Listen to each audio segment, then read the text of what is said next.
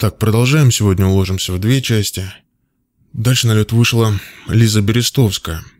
В этот раз по сравнению с короткой программой музыкальные композиции порадовали, что первая, что вторая. Звучало все довольно неплохо и в целом подходит Лизе. Опять же стоит отметить, что прыжки, именно выезды и заходы на прыжки, все это стало лучше. Заходы стали короче, а выезды более инертными. Тем не менее, что касается каскадов 3-3, уже были видны некоторые сложности. Костюмчик вот этот спортивный и прям очень идет. Замечательно в нем смотрится, выглядит. Ну и также Лиза порадовала своей улыбкой. В кои-то веки, что в короткой программе, что в произвольной, девочка научилась более-менее контролировать свои эмоции.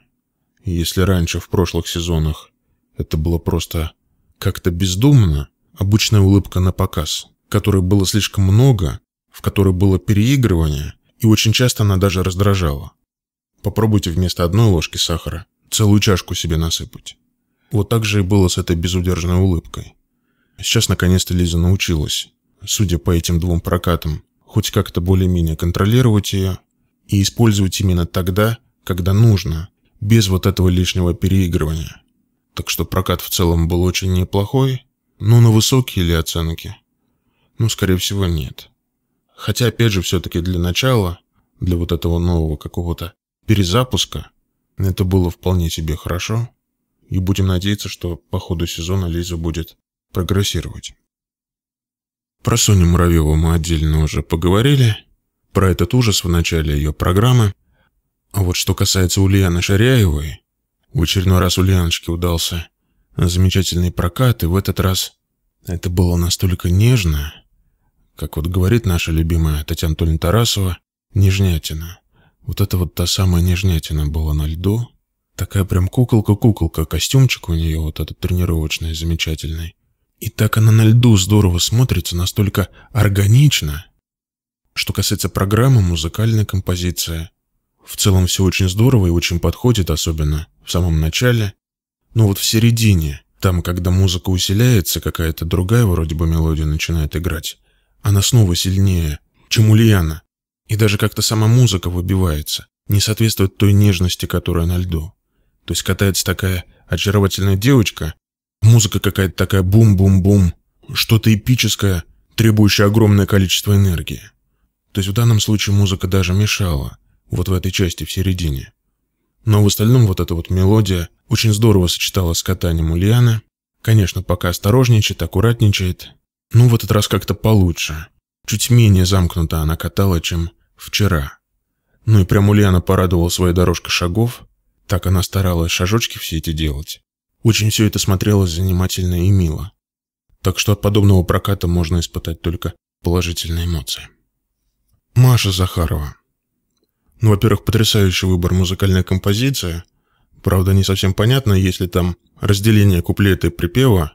Там так получается, что куплет и припев идут как-то вместе. То есть то ли припева нету, то ли нету куплетов. Но вот сама по себе вот эта музыка, она очень сочетается со стилем катания Маши. Безусловно, пока что программа сама по себе выглядит очень сыро, и весь прокат был сумбурный. Вначале, я так понимаю, была попытка четверного прыжка, но получился пониженный. Даже тройной, по-моему, пониженный. Но это так, мелочи. В целом, конечно, вся эта сумбурность и суета так или иначе коснулась остальных прыжков, но, к счастью, незначительно. Пока что видно, что Маша то ли не до конца понимает, то ли не до конца ощущает вот этот образ, который нужно передать. Но самое главное, что вот эта музыка, сам стиль, это вот прямо ее, это ее стихия.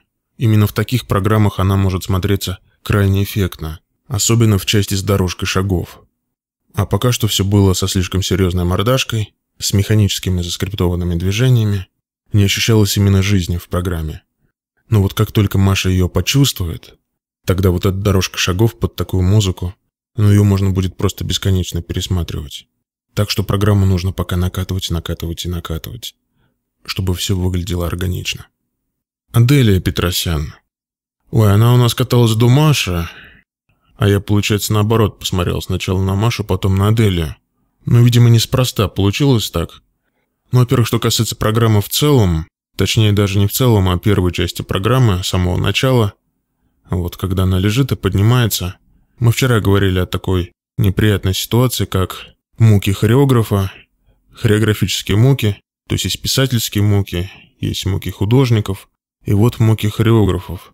Когда много фигуристок, а ты один, и отсюда появляются все эти заимствования из своих же предыдущих программ. И вот это начало программы Адели – это прям Алина Загитова. Движение рук, сам стиль, вот начало – это один в один Загитова. А дальше этого будет больше и больше, в этом-то и проблема. Тем, кстати, страшнее перед взрослыми контрольными прокатами.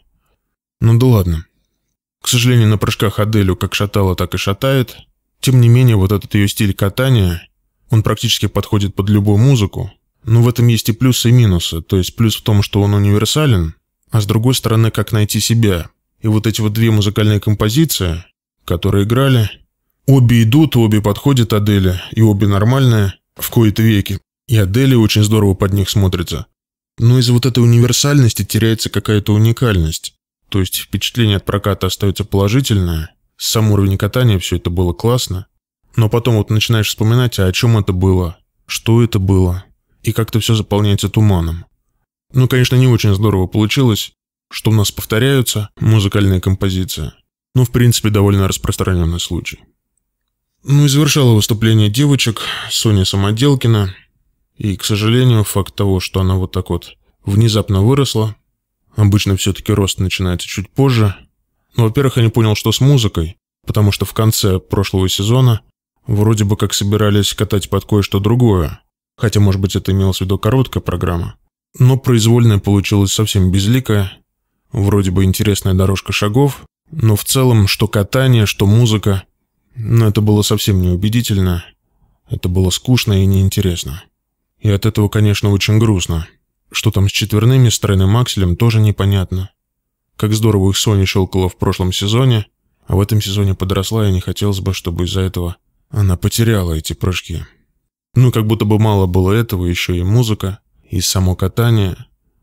Если прошлая программа Сони и ее катание в ней, на протяжении, кстати, трех сезонов, это с первых секунд было что-то особенное и настолько захватывающее. И было видно, что катается реальный лидер, девочка, которая может сметать все на своем пути, то вот в этой программе Соня каталась как обычный середняк. К сожалению, сегодня это был один из худших прокатов. Ну вот такая вот эта штука физиология. Никогда не знаешь, когда вырастешь. Хотя, опять же, постановка тоже не помогает. Она могла бы как-то сгладить вот эти острые углы. А с такой программой и с такой музыкой эти углы лишь еще больше выпячиваются. Буду повторять день за днем, у тебя плохое владение коньком. Буду повторять день за днем, у тебя плохое владение коньком. Буду повторять день за днем, у тебя плохое владение коньком. Буду повторять день за днем, у тебя плохое владение коньком. Буду повторять день за днем, у тебя плохое владение коньком.